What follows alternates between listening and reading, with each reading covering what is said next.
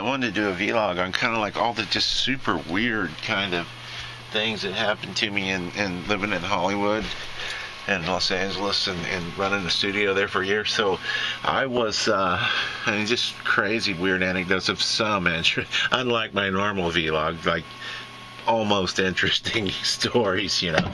But uh, I got a job doing security because uh, basically it, it, it, let me study and it was just easier than digging ditches or washing cars. And uh, my very first job doing security and I was literally crashing in my car. It was the middle 80s and I just got to LA I was just a country boy and, and I was crashing in my car. And I would call in and see if this company that I'd signed up with for got me security jobs. And I called in my very first one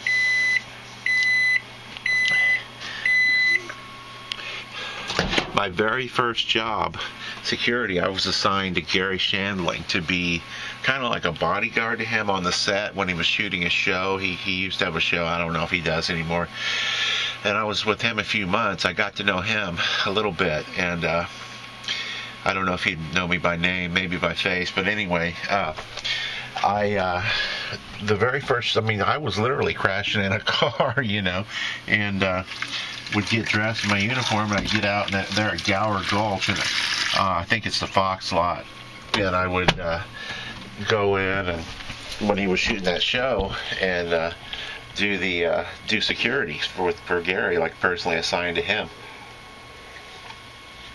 and uh, anyway, I met this guy, and one of the actors. The char- there's a lot of character actors in Hollywood. You know them by face, and you know who they are, but you don't really know their names. And I, uh, uh, I was backstage, kind of guarding the doorway to Garry's room or whatever. Not that he's a big star or anything, but you know, whatever. And uh, somebody came walking up to me, a guy, and he looked at me and he just kind of tapped me on the shoulder and he goes, If you knew anything about me at all, you would know I never eat red meat. You know, and I was just like, What the? And, uh, he goes, "Oh, I'm an actor on the show. I'm, I'm just running my line." So anyway, th- this guy's name was Roy Brocksmith, and you've seen him hundreds of times. He's been in tons of stuff, and uh, I was watching Hudsucker Proxy last night, and I noticed two guys that I that, that I knew, like uh, character actors, bit players, uh, and directors tend to hire them over and over again because it gives you the feeling like, oh, that's kind of a known guy. It's good for their film. So, anyway.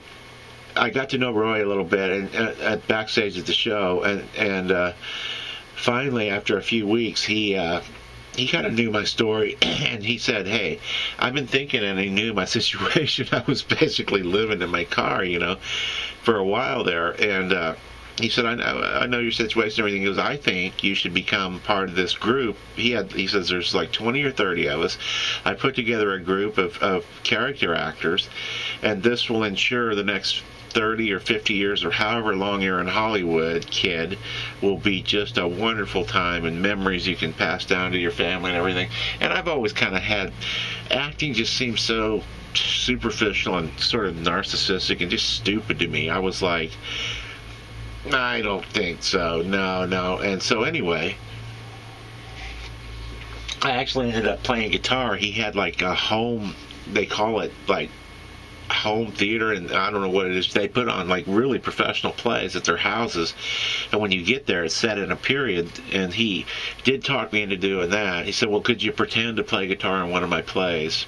And I did, and that was a trip. And I got to know him pretty well over the years, but they did actually if you as i got to know him and this group of like actors and stuff this this group he'd put together they they pretty much dominated all the character actor work in in hollywood in like the 70s 80s and 90s uh these people you see over and over again, these bit players. You know, I'll, I'll see if I can't find some clips of Roy, and then another guy I'm going to talk about here in a second, Ernie, who I'm kind of responsible for him dying in a way, in a not not totally, but it was weird. So, um, so Roy, anyway, for the next 20 years in Hollywood, or however long he lived, it was a long time. He died at 56, I think I read last night. Uh, was years and years. He would call me. He had my number. He would call me so often. We just talk and shoot the breeze. And he and I, I realized it was a huge mistake. He said, like within the first few weeks, he said, "I can get you work, kid. You won't live in the car. You'll be sort of a movie star, sort of, and you'll." You know have all this this great life in Hollywood. and You won't hardly have to you know we won't have to work that much, and and I'm certain I can we dominate the the market. And of course I said no, you know I'm not interested. And I really hate it. I, I at that time I just hated actors and acting. So. Um, that was Roy, and then how? Oh, I saw that Roy was in Hudsucker Proxy, and so was Ernie. Ernie plays the tailor in Hudsucker Proxy. So I'd kind of been in loose touch with with Roy Brocksmith over the years, and we were kind of friends, and uh, saw him quite a bit, talked to him quite a bit. He's one of those people that kept a Rolodex and would sort of touch base with you every month or two, you know. Um, and he always said, "You should be an actor. I'm telling you, this is good. This would be great for you." And uh, anyway, so I said no. But then, uh, uh, so how did I end up? Uh, oh, at the coffee shop. I would go to this coffee shop where a lot of kind of huge actors would sort of come in and out and go. Some would hang out, and then all, but more than that, there was just tons of people who wanted to be actors there, and bit play all kinds of stuff. Stir crazy uh, on Melrose, and it was near my studio. So I started going there, and I met this guy, an old old actor. He plays the tailor in Hudsucker Proxy. His name is Ernie, and uh, I can't remember Ernie Cicino, or I, I think he worked under another name too and he had gone back to Hollywood for uh, he, his history went way way back, and I had uh, um, where am I at time wise? six. Good. I can bring this in under ten. I think. Uh, I had. Uh, uh, I met him and made friends with him and at the coffee shop. Kind of got to know him over like a period of years, and then finally, I, me uh, myself, I met him and another friend and I, another director and I, uh, began to realize, oh, this guy's just he is Hollywood history. His stories. I mean, he knew everybody. He had worked on every movie. So uh, I actually took like probably and, and got I'd go to Ernie's house sometimes and visit him. He was an old guy, you know, old guy and getting older, you know, uh, like getting up there. And we were good friends. And anyway, um, to show you how things weird things tie together. So I married eventually during this era. I married a Russian girl that I met on the internet, and uh, she brought over a case of uh, like a uh, a, a, type of shingles. It's kind of like when the, the settlers brought new kind of viruses and bacteria to the Indians. Kind of the same thing happens when you deal with people abroad. You get all these weird illnesses you've never had. You're not immune to them.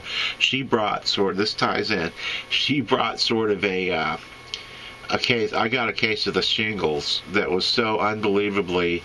I was just 105 temperature, walking around like a zombie, like felt like I was 10 foot out of myself. But before I got diagnosed with that, anyway, she went back to Russia.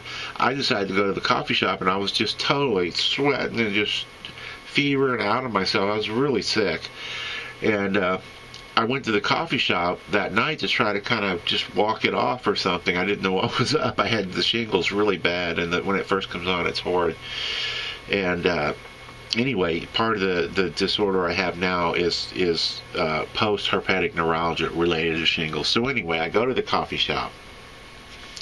And Ernie's there, and I'm sitting there talking to him, and I'm out of myself, and we're just talking, having coffee, and being friends, and, and talking about stuff. And he would always say that line from the tail, the the Hudsucker proxy, because the whole movie hinges on whether he gives this guy a double stitch in his pants or not. I'll try to insert that clip in this it's Paul Newman. So he was just thrilled. He he got to you know he had met everybody anyway, but he Paul Newman was he really liked that.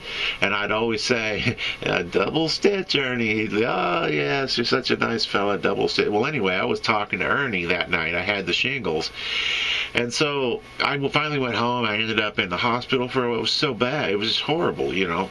But when I went back to the coffee shop about six weeks later, uh, I kind of asked Dino, the guy who owned the coffee shop, I said, hey, what's happening with Ernie? How's he doing? And he goes, oh, man, I'm so sorry to tell you, Ernie passed away.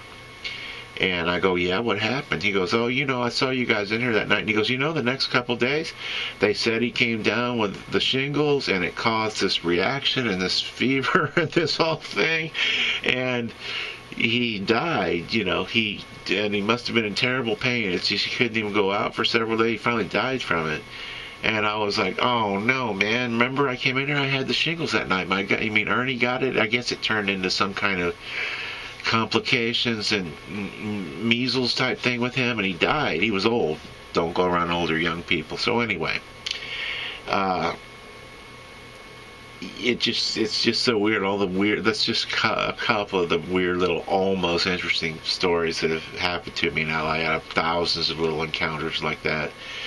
Um, and uh, but it was so weird because uh, I actually was making a documentary about Ernie's life. He was a radioman in World War II on B-29 bombers, and he knew Andy Rooney, who also was like, I was just crazy. His apartment was like a shrine to all these kind of film history and Hollywood thing, uh, uh Ernie, and uh, and he knew. Uh, Roy Brocksmith. I told him that. I saw a picture of Roy in his house, and I was like, "Oh, you know Roy? Oh, yeah, we're good friends." So, I, I sort I knew both of these guys, you know, um, and uh, so that was kind of trippy, the history of films and stuff. And then that tied me into another actor named Sandy Baron, who was my roommate for a while. He's the uh, take the pen on Seinfeld, that guy. So, you know, all these weird, weird, wacky things happen to me in LA. And I'm sure it happens to everybody who lives there. It's just if you live in kind of middle America or whatever, it's probably hard to believe that that stuff happens a lot and that it's it's just part of the deal of living in LA and Hollywood. So, a speedy vlog, but I wanted to kind of mention that, and I could tie in Rob Reiner, who I met on on uh, and got to know a little bit on uh,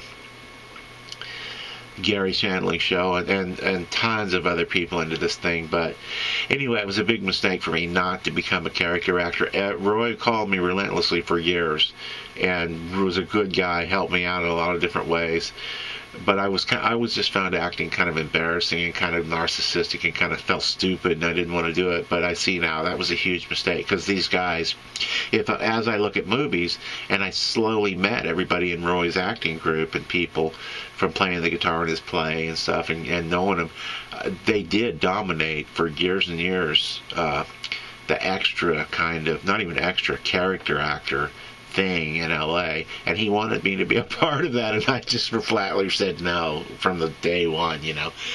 So some of the shit you do, you just don't know. So anyway, there you go. They're kind of interesting little characters that that I ran into, and there's I could I I was laying in bed thinking last night I could literally tie probably a hundred like famous people into this whole uh, Roy Brocksmith uh, Garry Shandling show story, but it's uh, making that interesting is a whole other issue.